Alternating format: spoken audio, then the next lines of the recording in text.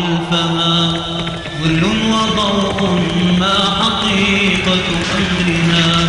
هذا وذاك من تقاعد دما والكل يسعى لاستدامة مدما ليست هنا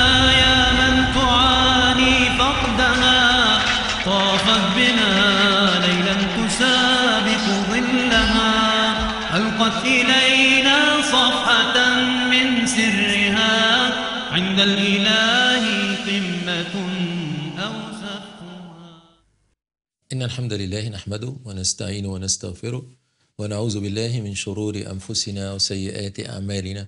من يهديه الله فلا مضل له ومن يضلل فلا هادي له.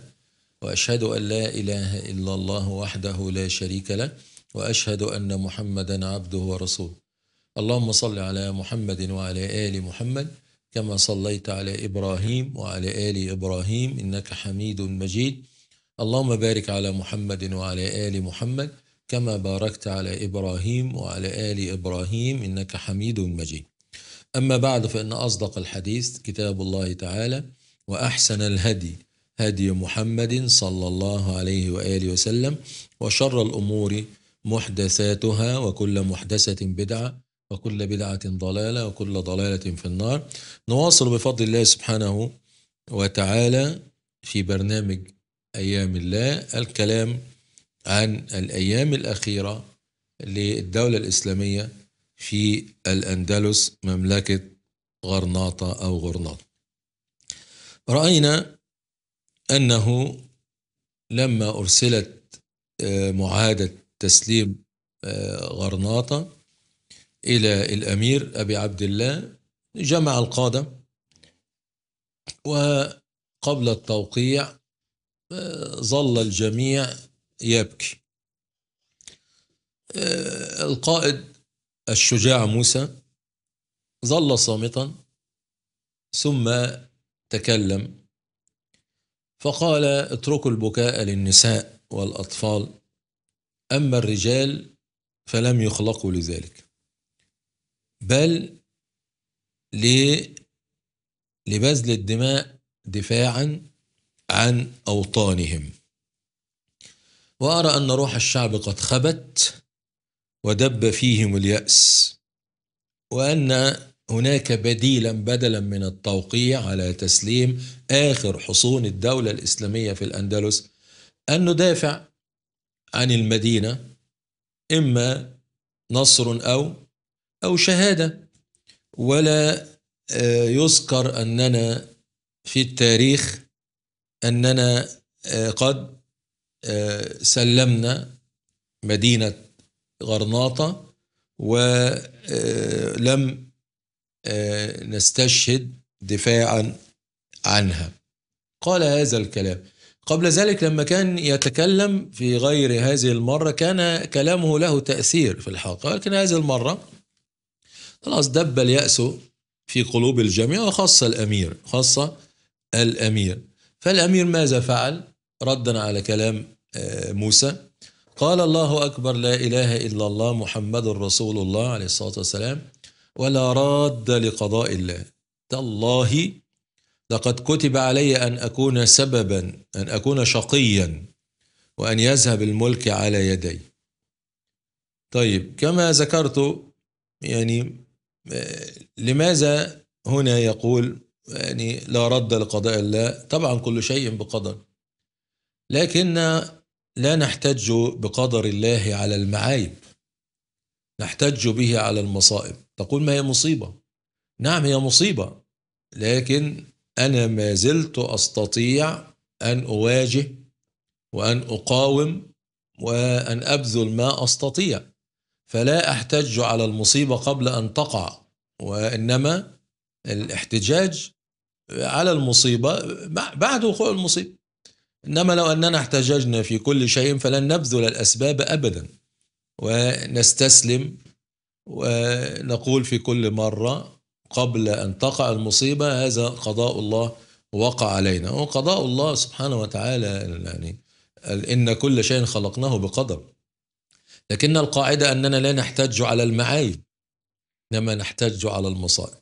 يعني هذا اللص الذي جيء به إلى أمير المؤمنين عمر بن الخطاب. وسأله لما سرقت؟ قال قدر الله وما شاء فعل. قدر الله وما شاء فعل. قدر الله علي أن أسرق. هنا احتج بالقدر على على السرقة. فالكل هنا سيحتج بالقدر. من يزني يقول أنا أزني بقدر الله. من يسرق يقول أنا أسرق بقدر الله. من يقتل يقول أنا أقتل بقدر الله. فيحتجون بالقدر على معايبهم والقدر يحتج به على على المصائب. فقال وأنا أقطع يدك بقدر الله. أنت تحتج بقدر الله على أنك سرقت وأنا أحتج بقدر الله على قطع يدك. لا يحتج بقدر الله على المعايب إنما يحتج به على على المصائب. القادة والأمراء من حول الأمير رددوا ذات الكلام. الله أكبر. لا إله إلا الله محمد رسول الله ولا رد لقضاء الله إلى آخر الكلام.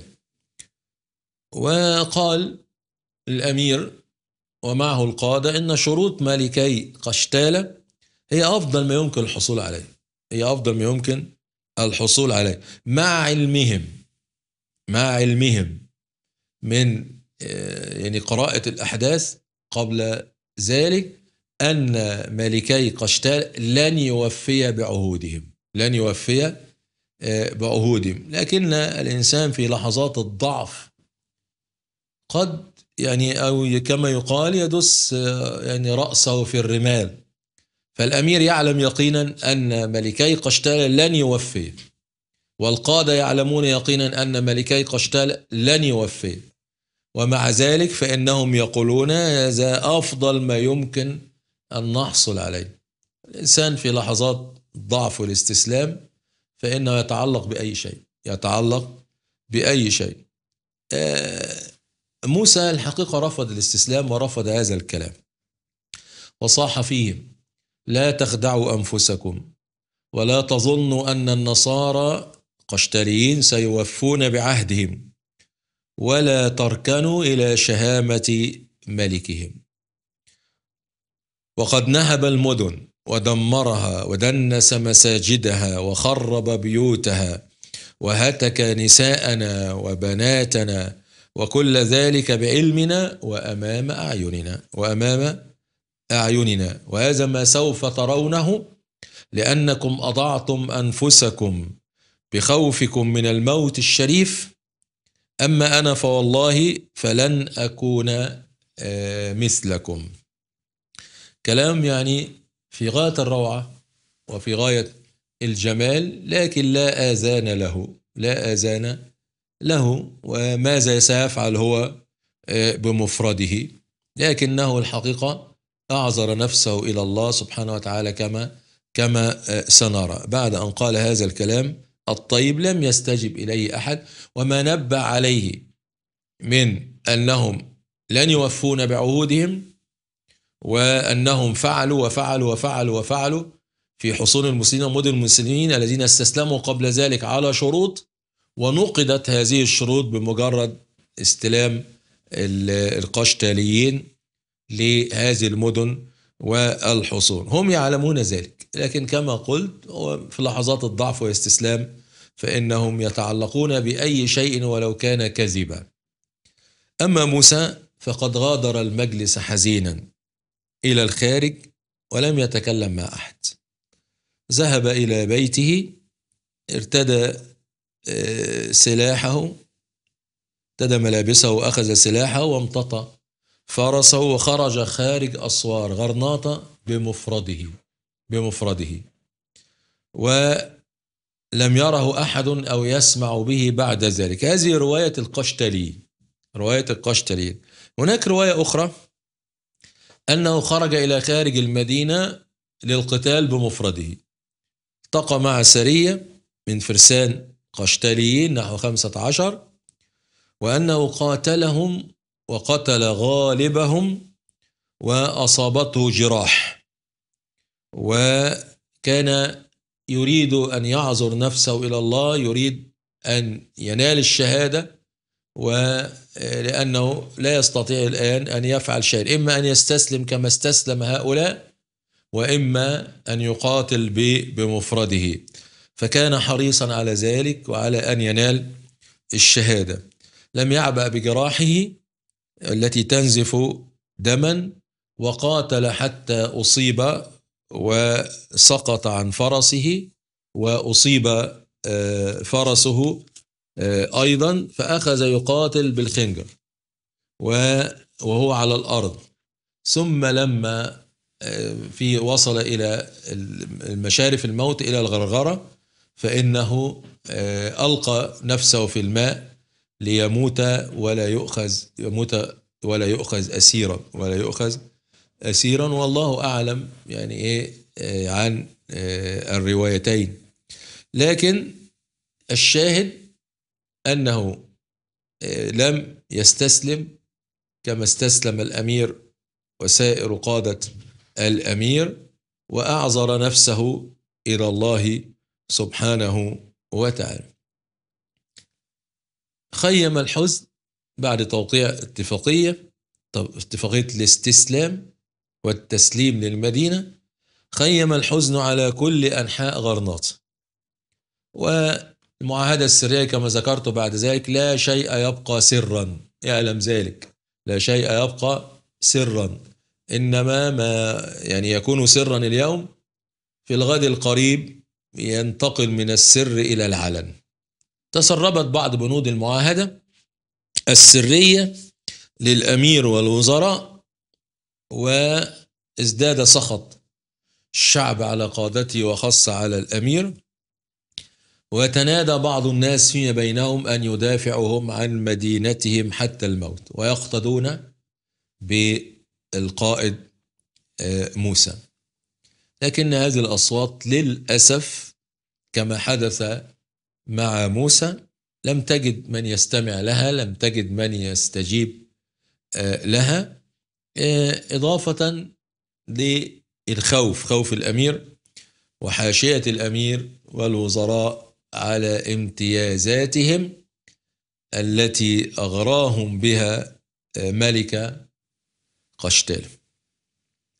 مسلمون كما هم يعلمون أن الملكين لن يوفيا يعلمون ذلك جيدا وشكوا في ذلك وما الشك يعني في ذلك قد يكون أقرب إلى اليقين. يعني غالب آه يعني إيه آه يعني ليس شكا وإنما هو الظن الغالب الظن الغالب. بل قد يصل يعني في في باستقراء ما فعله آه ملك قشتالة مع المسلمين قبل ذلك. إنسان يكون عنده يقين أنهما لن يوفيا سابق كثيرة في نقد العهود فتكلموا أو أرسلوا يعني وساطة بينهم وبين الملكين فأقسم فرناندو وإيزابيلا بالله أنهما سيوفيان بالعهد آه. أقسم بالله أنهما سيوفيان بالعهد و آه، فرناندو وإيزابيلا يتحركان في كل أمورهما بأن الغاية تبرر الوسيلة. تبرر الوسيلة. وهو لم يفي بأي عهد له من قبل. بأي عهد له من قبل. وكل ملوك الممالك النصرانية في الشمال ما وفوا بعهودهم. هم يعقدون المعاهدات في وقت الهزائم. ولكن بمجرد أن يشموا أنفاسهم ينقضون المعاهدات فهذا ديدنهم. لكن السؤال طيب هل تعلم المسلمون الدرس؟ وهذا يتكرر يتكرر. يعني هل تعلم المسلمون الدرس؟ الذي نراه أنه لم يتعلموا الدرس لم يتعلموا الدرس. بل سارع الأمير بتسليم غرناطة. حتى لم ينتظر مهلة الستين يوما التي أعطيت له لتسليم آه، المدينة.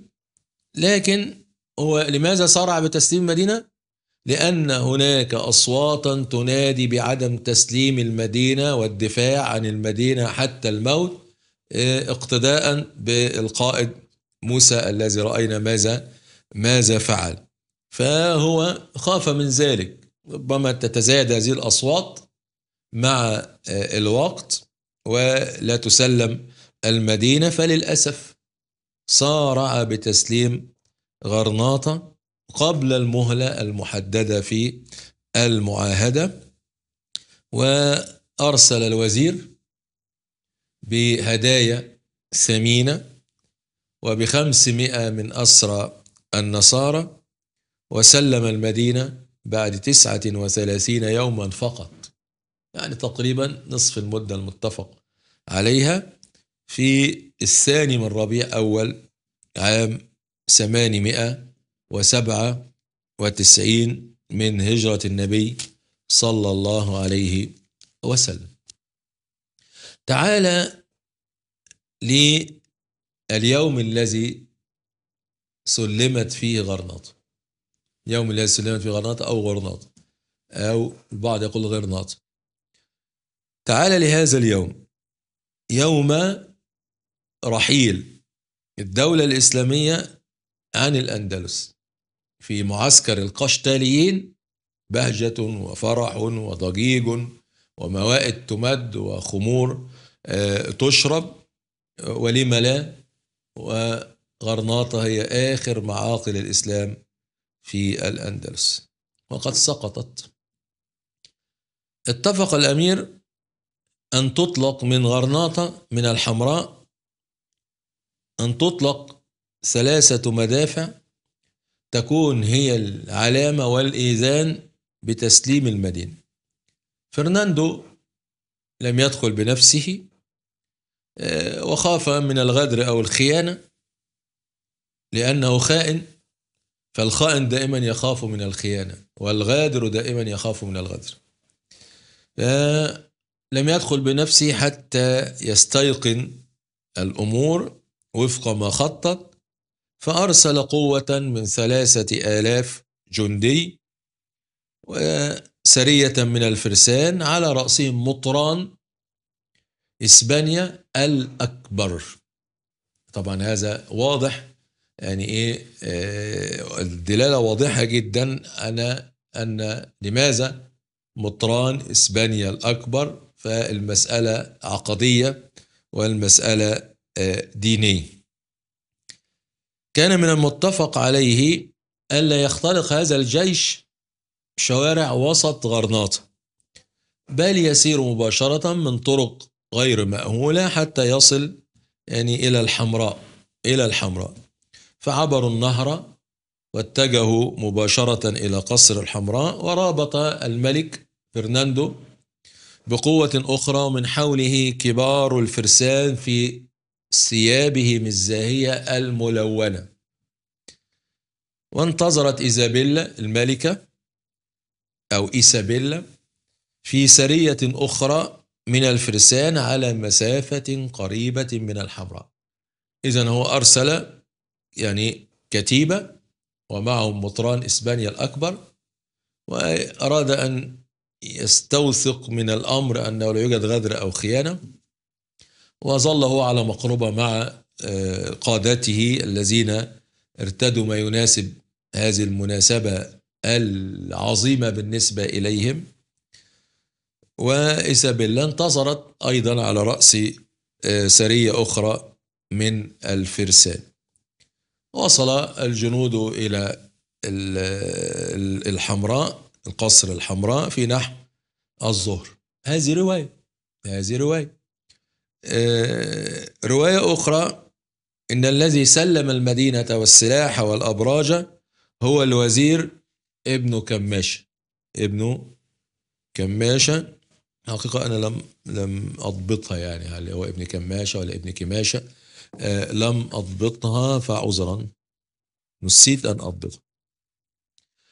آه الوزير الرواية الأخرى أن الوزير هو الذي آه سلم.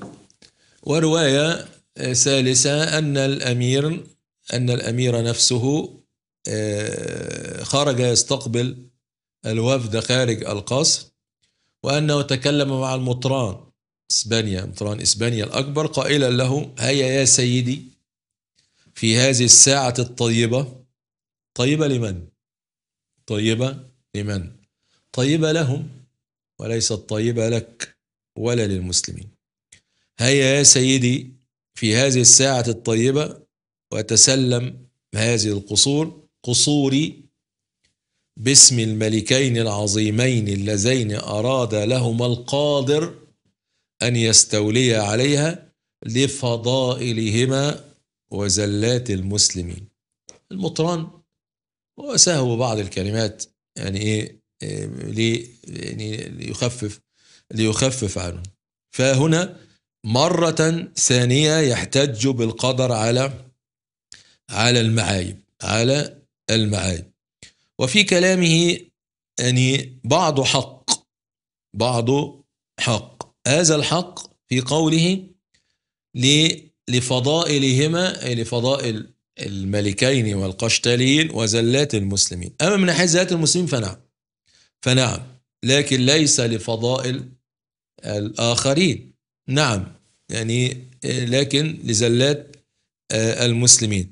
إن إذا يعني إذا أردنا أن نسمي أو أن نقول إن لهم كانت فضيلة إنجازت التسمية لملوك قشتالة على مدى هذا الصراع الطويل هو الإصرار وبذل كل شيء من أجل القضاء على الدولة الإسلامية في الأندلس. وهم كانوا يضعون هدفا صوب أعينهم والمسلمون يقاتل بعضهم بعضا ومن أجل آه، الملك ويتعاونون مع أعدائهم من أجل الملك. لكن هؤلاء كانوا يضعون هدفا أمامهم وهو القضاء على دولة الإسلام في الأندلس.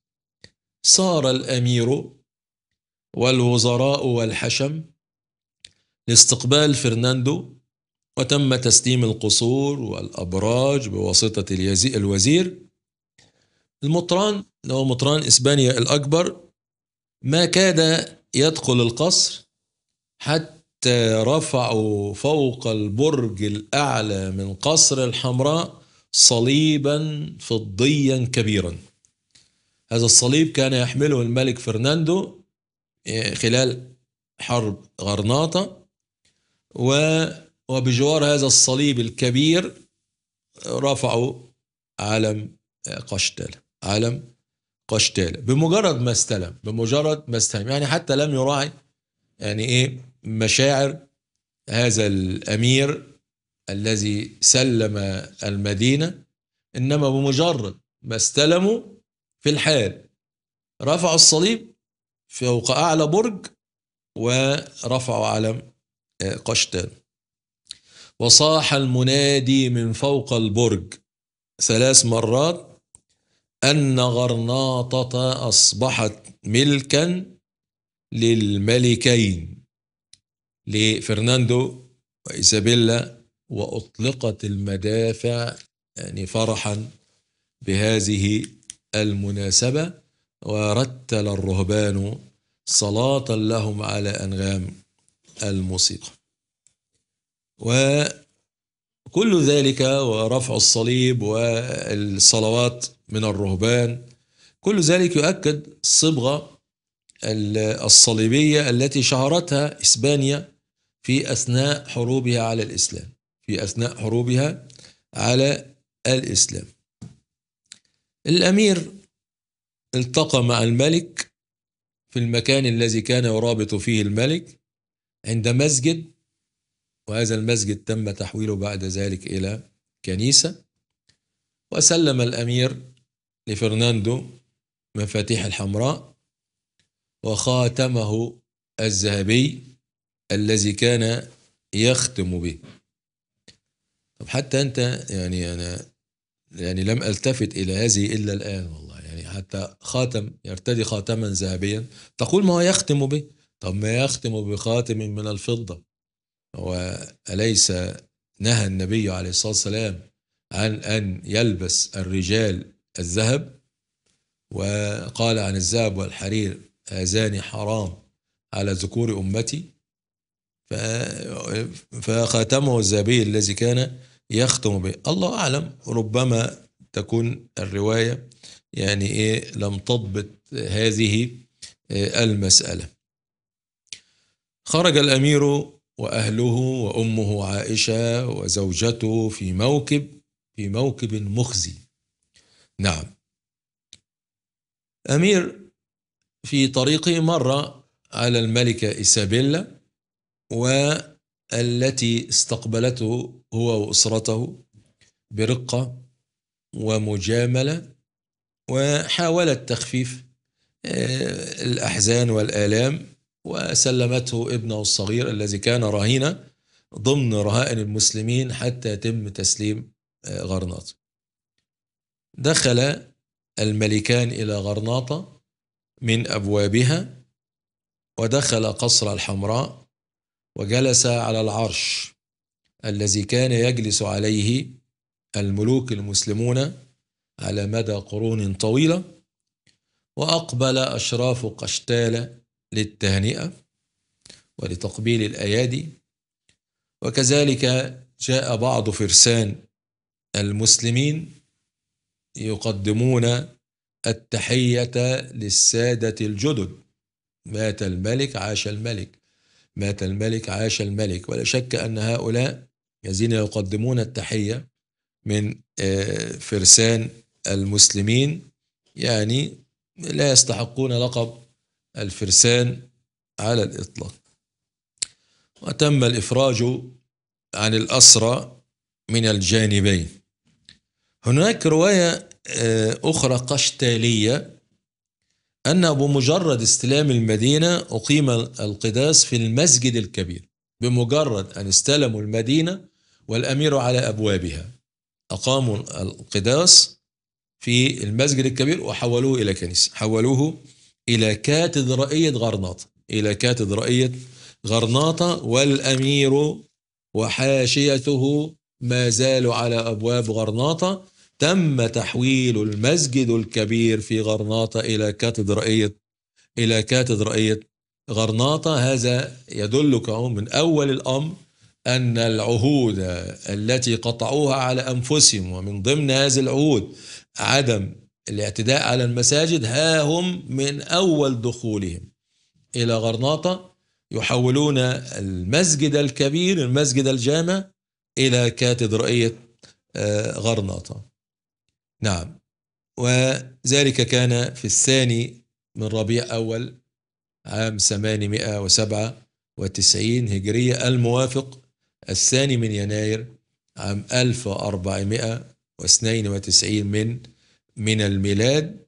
أقبل الملك قشتلي بجيوشه وبعث جناحا من جيشه فدخلوا مدينة الحمراء. يعني هذه رواية رواية أخرى وأنا ذكرت أنه قد يعني لم يدخل المدينة مباشرة خوفا من من الغدر خوفا من الغدر. ولما اطمأن أرسل جنوده للمدينة وبقي هو في خارجها وأمد المدينة بالدقيق والطعام والشراب وترك فيها قائدا من قادته ثم رجع وأطلق سراح الرهائن المسلمين كما رأينا و يعني وبذلك تم تسليم غرناطة.